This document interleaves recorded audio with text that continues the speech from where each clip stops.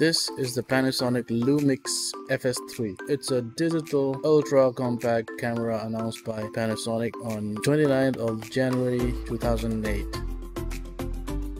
It has 8 megapixels and triple optical zoom. Its Leica lens has an aperture of f2.8 to f5.1 and for brighter environments f8.0 to f14.0. It does a video recording in WVGA, VGA and QVGA. It can support a storage of up to 32 GB and a display of 2.5 inch QVGA RGB screen. It's a perfect vintage camera, semi vintage camera if you will.